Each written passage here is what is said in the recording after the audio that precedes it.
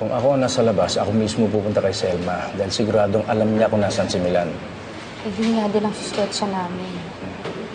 Buti pa, malis na ako rito. Sana nga, nandun ako. Huwag ka mag-alala, Rom. Makakalabas ka din. Wala ako nang malis dito. Paano mo naman gagawin yun? Tatakas ako. Ano? Tatakas ako. Please, ayoko. Huwag mong gagawin yan. Bakit hindi? Nakalimutan mo na ba? Nung nagtagong tayo at tumakas tayo sa mga polis, na-aksidente tayo. Nabaril ka pa nga, di ba?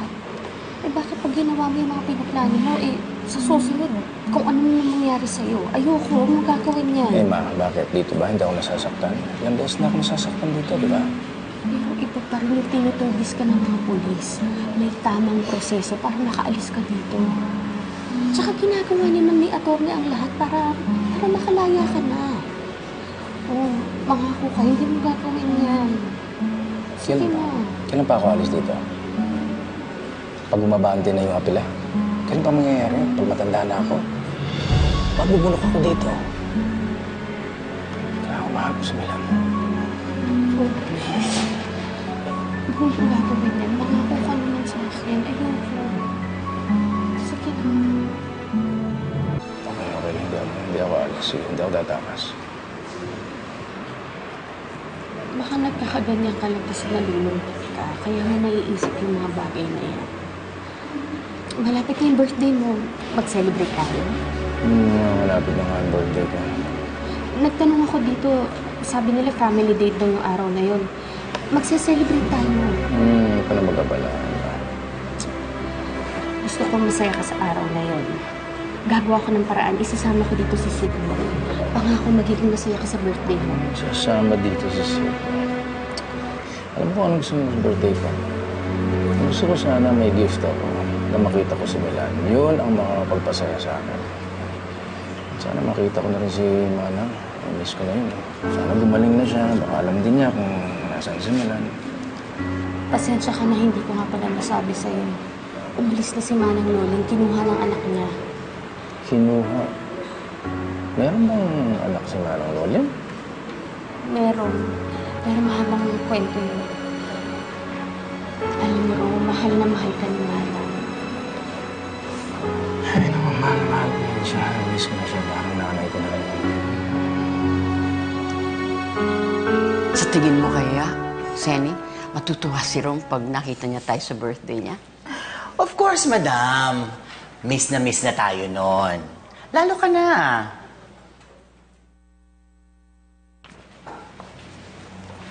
Magandang gabi po. Anong ginagawa mo dito? Sisirain mo na naman ang gabi ko. Ako ng gulo, Emma. Hindi naman po ako pumunta dito para maghanap ng gulo. Gusto ko lang kung sana kayo makausap. Malapit na ho kasi yung birthday ni Rome. Gusto ko sana siyang mapasaya sa araw na yun. Paano mo mapapasaya si Rom sa kulungan? My God. May sasaya ba sa lugar na yon? Alam niyo kung minsan, kahit gaano kalit ng tirahan, gaano kapangit ng lugar, kung makakasama mo yung mga mahal mo sa buhay, nakakalimutan yon. Yun ho sana ang gusto kong maramdaman ni Rome. May makakasama pa rin siyang pamilya. Tama po. Ang bait niyo talaga, Ma'am Emma. Naku, sasama po kami. Pasasahin po namin sa Sir Rome. Vicky, alam mo, shut up. Hindi ka miyembro ng pamilya. Ikaw, Sally, miyembro ka rin ba ng pamilyang to? Kadugo, para kay Rome pamilya tayo. Sana makita man lang niya sa araw na yon na kompleto tayo. Paano kung magkagulo tayo? Sa harapan ng anak ko? Correct. Di lalong nasira ang araw ni Sir Rome. Eh, hindi naman ho tayo magkakagulo kung makikisama kayo eh. Ako na ho sanang makikiusap. Baka pwedeng kalimutan po muna natin ang mga sama ng loob natin sa isa't isa. Kahit sa birthday lang ni Rome, pakita niyang nagkakaisa tayo. Kung pwede rin ho sana na may isa pa akong pakiusap. Alam niyo naman ho siguro na parating gulo ang nangyayari kapag nagtatagpo kami ni Georgia. Gustuhin ko man hong tawagan siya, eh ayoko naman hong magkagulo na naman kami ulit. Baka pwedeng kayo na ho ang kumausap sa kanya na maisama natin si Sydney para makita niya si, si Ron.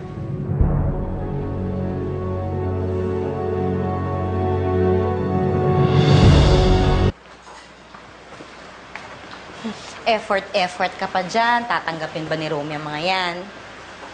Hindi ko alam. Pero kung ayaw niya, edi papamigay ko sa warde. Anong kailangan naman tong matandang to? Sino yan? Margarita. Huwag na sagutin. May inis ka lang dyan. Pero ate, ano naman eh, kailangan ko ng update kay Ron. Kaya, Mukhang nagkamali ka yata ng tinawagan. Of course not. Talagang gusto kitang makausap tungkol kay Sydney. Hindi ko pa pupuntahin dyan si Sydney. Georgia, natutong makiusap si Emma para mapasaya ang birthday ni Jerome. Hindi mo ba kayang gawin yon? Oh, so BFF na pala kayo ngayon ni Emma. Ganon. Of course not. I'm doing this for my son. Kailangan ko si Sydney. At kailangan din ni Jerome ang anak niya. Hindi mo ba kayang payagan na magkasama yung mag-ama sa birthday niya? Kasama ko? Are you kidding? Hindi kayo pwedeng magkasama ni Emma. Ano ka ba? So si Emma nandoon pero ako wala. Of course! She's Jerome's fiancé. Hindi naman papayag si Jerome na wala dun si Emma. Eh yun naman pala eh. Mas importante pala si Emma dyan eh. Kaya niyo mag-celebrate nang wala si Sydney. Ikaw naman. Gusto na niya makasama ang anak niya. Di ba nga, akala niyo buhay si Milan, bakit hindi niyo nalang hanapin si Milan at ibigay niyo kay Rome?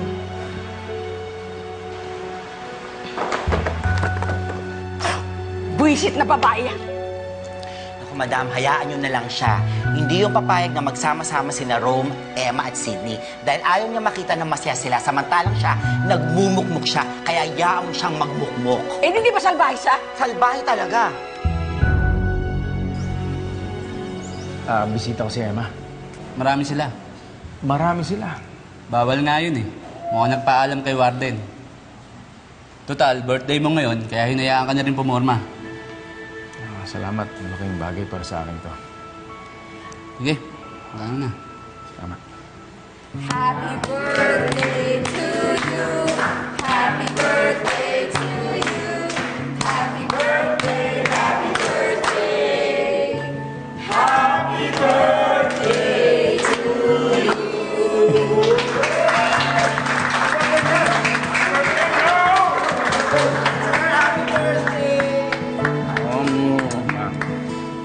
salamat sa inyo lahat. Wish muna ha.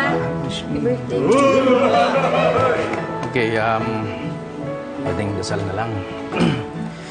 Ah, Lord, ah, sana bigyan ho ninyo ng linaw ang aking ah, kaso. Sana makalabas na ho ako dito. Ah, para makita ko naman ho ang mga minamahal ko sa buhay at ah, mahal na mahal ho nila ako. At, ah, Lord, maraming salamat at binigay niyo sila sa akin. Amen. Blow you. Ah, blow ako.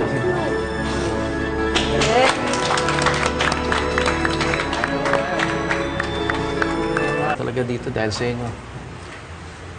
Ma? Pwede ba magkasundo na kayo ni Emma, ha? Huwag na kayong mag-aaway. Please. Okay, I love you. Miski meron tayong konting hindi pagkakasundo, ha? You will always be my mother. Love you?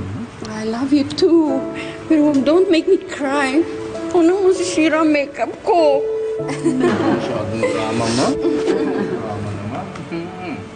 Oh, Vicky. O di, paano? Karang bahala kay Mami, ha? Ah, pag nakita mo naman si Manong Loleng, pakisabi sa kanya na miss na miss ko na siya. Ah, miss ko na siya bingi lang pangalawang ina. Mahal na mahal ko rin siya. Mando! Sir. Bahala ka na sa pamilya ko, ha? Bahala ka na sa pamilya natin. Ah, sir. Huwag mo kayong mag-alala. Tatandaan na ako na pinagsisilbihan ng pamilya niyo, sir. Thank you, Mando.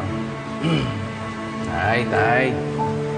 Maraming salamat ho at uh, pinagkatiwalaan pa rin mo sa akin si Emma. Lahat gagawin namin para sa ikaliligaya ng anak namin.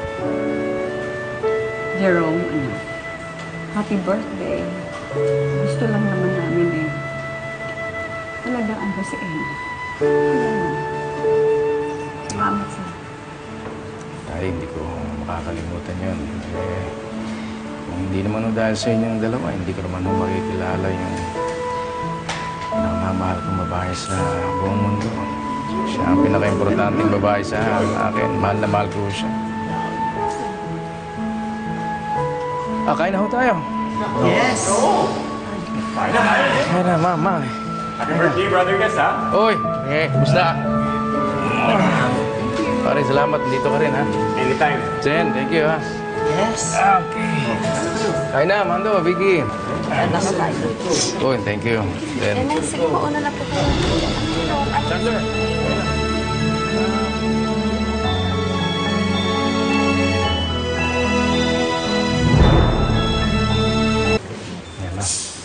Maraming salamat, ha? Maraming salamat at um, walang sawa kang dumadalaw dito sa akin kahit na ilang beses na kitang pinagtabuyan. Hindi mo kailangan magpasalamat. Kaligayahan kong nakikita ka at nakasama ka.